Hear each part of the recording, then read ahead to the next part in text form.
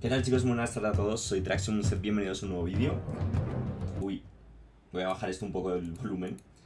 Eh, Hoy quiero especular un poco, vamos a imaginarnos, vamos a soñar, vamos a pensar un poquito en qué va a consistir el eh, DLC ¿Qué pasa con el volumen aquí, tío? Perdón, eh.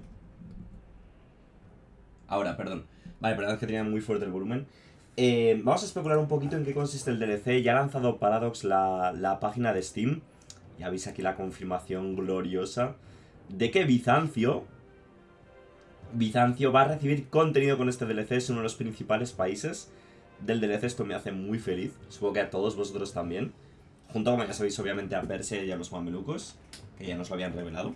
En realidad no han revelado como mucho más, pero quiero aprovechar eso un poquito para, especular, pensar un poquito eh, qué va a abarcar ya el DLC, ya así de sí, eh, por así decirlo, pues con la información que está en nuestro alcance, que ya es pública, que ya está en nuestras manos, sabiendo pues eso, que obviamente pues Bizancio eh, va a ser uno de los objetivos, ¿no? Tenemos también Persia, destacada obviamente la imagen enfoca un poquito también el área de Karakoyulu, el país este del sur, no recuerdo ahora mismo, pero toda la zona de Musasa, Kisinkaifa, Kukoyulu, la zona del Cáucaso, ¿no? Armenia.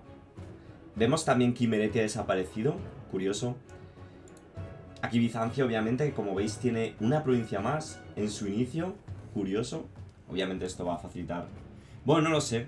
El, inicio ahora mismo de Bizancio no me parece tan loco como hace muchos parches. Con todo el tema de eh, a los griegos, hacer una armada fuerte y enfrentarte a ellos de primeras.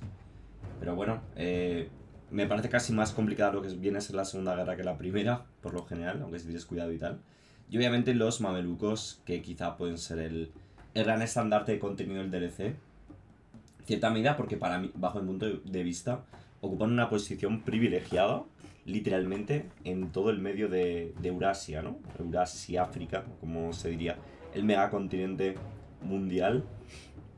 Y bueno, vamos a leer un poquito lo que han puesto por aquí, fijaros. Este paquete de inversión de Europonesalis 4 da más profundidad y detalles históricos a las naciones en torno al Imperio Otomano, ¿vale? Hay que coger esto un poco con pinzas, supongo, pero es que en torno al Imperio Otomano indica bastantes cosas. Pero bueno, se centra en las naciones de Persia, el sultanato mameluco y el imperio bizantino, mientras luchan por sobrevivir en una región plagada de conflictos, drama y diversidad. King of Kings, el nombre me flipa, lo he dicho ya varias veces, me encanta el nombre del DLC.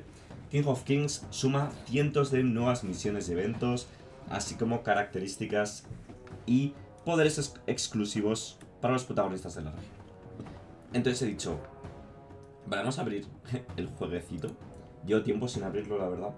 Vamos a abrir el jueguecito y vamos a especular un poco, en plan, ¿por qué no? ¿Sabéis?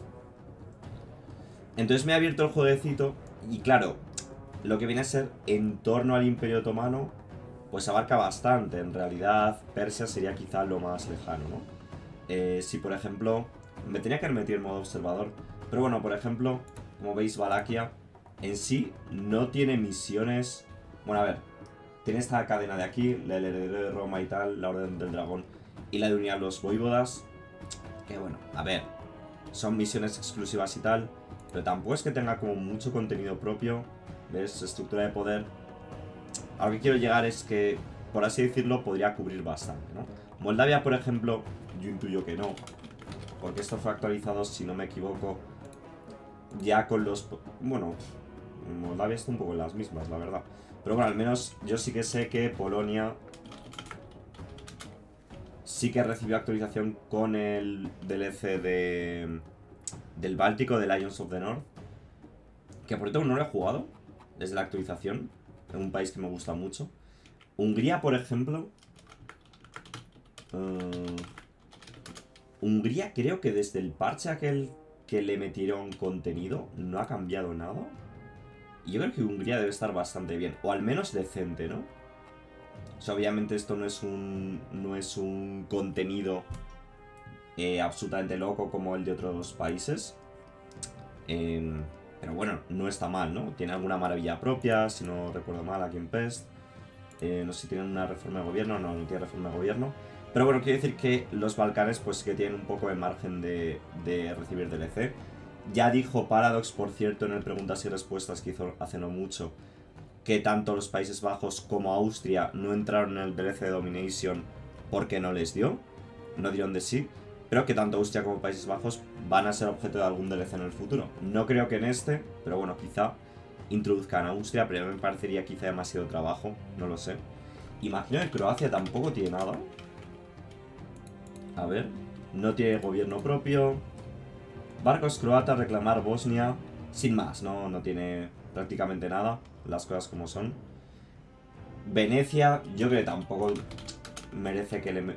O sea, yo creo que Venecia está bien. Lo cambiaron en Emperor. País, por cierto, muy distinto de jugar. Si no lo habéis jugado, lo recomiendo bastante. Es un poco raro. Eh, y algunas misiones de las primeras se tardan un montón en conseguir. Pero es un país que yo creo que está bastante, bastante bien. Bueno, Chile obviamente lo vamos a obviar. Pero yo creo que la zona de Bosnia y tal... Bosnia, Croacia... ¿Veis? Aquí no hay nada, tío. Estos países podrían... Podrían recibir cariño en este DLC, ¿no? Quizás se queda un poco fuera de lo que es Oriente Medio. Y podría haber una actualización como más de Europa Oriental. Un DLC estilo Domination, pero más de Europa Oriental que llegase a cubrir los, los Balcanes. Porque también son países muy pequeños, muy parecidos. Sobre todo en esta época, en plan de que no sé hasta qué punto puedes hacer como DLCs o meter tanto contenido aquí. Serbia tampoco tiene nada. Armas moravas, la ley del emperador Hombre, pues tiene cosas, ¿eh? Hostia, Serbia tiene árbol propio, tío. Mira, esto no lo sabía, tío. ¿Tendrá algún logro también o algo? No, bueno, estoy, estoy sin, sin el Iron Man, ¿no? Oye, pues qué chulo. Eh, Serbia tiene su propio árbol de misiones. No lo sabía. Esto que he aprendido haciendo el, el vídeo. Así que mira, igual lo, igual lo pruebo, tío. Vale, vamos a ver Herzegovina. Esto dudo que tenga algo, ¿no? Nada, Herzegovina no tiene nada. Y... Ragusa es Rus. Raxan Riches. Ragusa. Eh, bueno, alguna cosilla tiene, ¿no? Tiene alguna cosilla, sin más, no está como muy loco. Y es una plutocracia, ojito. Albania yo creo que sí que podría ser objeto del DLC, al menos un poquito, ¿no? Sé que Albania tiene un gobierno propio. La Liga DLC, una alianza militar y diplomática de la aristocracia para defender a Albania de las amenazas extranjeras, ¿no? Tiene aquí a este Gigachav unos mejores generales. Está muy guapo. Pero no tiene misiones tampoco, ¿no? Más allá de lo de, esta cadena de aquí. Así que bueno, Albania obviamente pues sería un candidato, ¿no? En fin, sabemos que Bizancio sí o sí va a recibir contenido en el DLC. Bizancio tiene su propio gobierno. Vale, que bueno, yo entiendo que le meterán algún un poco más chulo. Eh, creo que luego lo mejoras, si no me equivoco. Y tienes como un parlamento, siendo una monarquía está como bastante curioso. Y bueno, obviamente habéis visto que la provincia de Kiriskile esta, pues va a empezar con ella. Y tiene misiones, porque todo el mundo dice, no, Bizancio tiene contenido y tal. Pero la mayoría de misiones son literalmente, mirad, reclamaciones, ¿vale? Reclamaciones, reclamaciones, un árbol que está bien para expandirte y tal, pero seamos sinceros, hoy a día, a día de hoy parados hace árboles de misiones mucho más chulos y únicos que, que este, ¿no? Como digo, el inicio ahora mismo no es que sea fácil, porque fácil no es, pero al menos no es tan complicado como en tiempos. Tienes como varias estrategias. Esto ahora va a sellizar a esta gente y tal. Entonces no sé si lo harán como más complejo que. Y por supuesto aprovechar para tocar... Ya que tocan Bizancio, pues le puede llegar a dar algo de contenido de Epiro y tal, ¿no? Ah, bueno, bueno, Epiro también tiene cosillas. Yo qué sé, tío. Imagino que Atenas igual...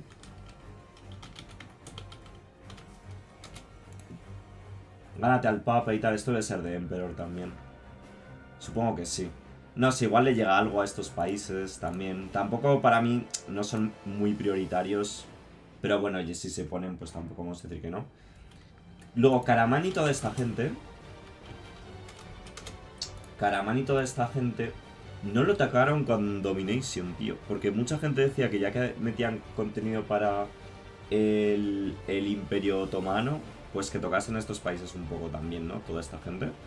El tema un poco es que yo creo que estos sí que son... Es mucho más probable que toquen todos estos países con el nuevo DLC. Recordad lo que dicen países que rodean al Imperio Otomano. son mucho más... Es mucho más probable que toquen toda esta gente que que toquen a Bosnia, Croacia y por ahí. Que ojalá, ¿eh? Pero... No sé, es que como tantos países pequeños aquí que...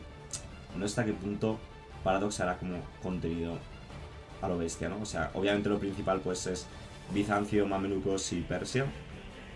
Pero el resto pues habrá que ver, ¿no? Luego yo creo que obviamente tanto a Kukoyulu como a Karakoyulu sí o sí van, a recibir su propio árbol de misiones. Vamos, yo aquí eh, me jugaría algo incluso porque estos dos países van a recibir algo de contenido propio. Especialmente porque son de las grandes potencias que hay aquí en medio, ¿no? Y, te ayudan un poco a plantar cara a tus vecinos. Creo que un poco la gracia de un DLC de Oriente Medio cuando lo pensamos es todo esto, ¿no? Así que en mi opinión, como que lo que más prioridad tendría es un poco esto. Han dicho que vamos a ver algo de contenido en el Cáucaso, entonces yo imagino que Georgia... Como veis, Simericia ya... Es que Simericia ya no está, tío. Fijaros, el país aquí dorado... Perdón, verde. Verde claro. Ah, sí, sí que está ahí arriba, ¿no? Esto es Santache. No es Simericia, coño. Aquí el, el azulito, ¿no? El azulito ya no está. Ahora es parte de... De Georgia. La nueva actualización. Entonces yo creo que Georgia claramente Yo creo que Georgia claramente va a recibir contenido, vamos. O sea, eh, es de los que yo daría por sentado que va a tener algo. Bueno, Sirvan Ardabil y toda esta gente, yo diría que ya están cubiertos desde el diario Desarrollo de Persia. O sea que toda esta gente que, rodea a Persia yo daría por sentado que no, no van a recibir nada más. Y luego para mí lo que sí que sería chulo, insisto incluso antes que el tema de los Balcanes y tal, es que hicieran algo con, con Arabia, tío. ¿Sabéis? En plan, Arabia creo que no tiene absolutamente nada. Uh, ¿Vale? O sea, obviamente los mamelucos pues tampoco tienen nada y, ya sabemos que van a recibir contenido estilo lo que hemos visto con el vídeo de, de Persia. O sea que yo con los mamelucos y así un poco de gente alrededor estoy tranquilo. Pero bueno, luego quedaría Arabia totalmente. Es que el, tema es que este DLC yo creo que hay que ser un poco realistas con el DLC. Y yo creo que es que eh, por poder abarcar, pueden abarcar como muchísimo pero no sé hasta qué punto se van a quedar, ¿no? Porque lo que dicen es eso, países que rodean al Imperio Otomano. Entonces, ¿hasta dónde van a llegar? ¿Van a llegar a cubrir Arabia? ¿Sabéis? Es que Arabia es una región en la que literalmente no he jugado nunca porque es que no hay nada. ¿Vale? No hay absolutamente nada, entonces como que... Es algo que tengo mucha curiosidad por saber si lo van a tocar. Y bueno, luego el tema de los Timurias, pues ya hemos visto que sí que reciben cositas nuevas. Eh, a nivel de mogoles, pues lo desconozco. Pero bueno, en general, no sé, siendo como negativos, entre comillas, en el peor de los casos, yo creo que vamos a ver va a ser Mamelucos, obviamente, los Koyullus y Georgia, un poco estos países eh, ortodoxos de la región, Persia, obviamente, que ya lo conocemos, y Bizancio, ¿vale? O sea, por mí, siendo negativos, lo que creo que va a cubrir el DLC va a ser esto, ¿vale? para que os hagáis una idea. Este cuadrado de aquí. En orden de prioridades, para mí, después sería Arabia, ojalá. Es que si no Arabia, ¿en qué DLC lo metes, tío? Que hizo una actualización de la India. Pero nuevamente, la es que la India es como también muy...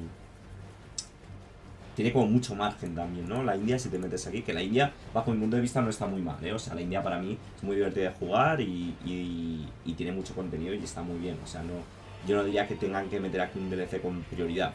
De hecho, como digo, la región que más pendiente estaba y más prioridad tenía era Oriente Medio.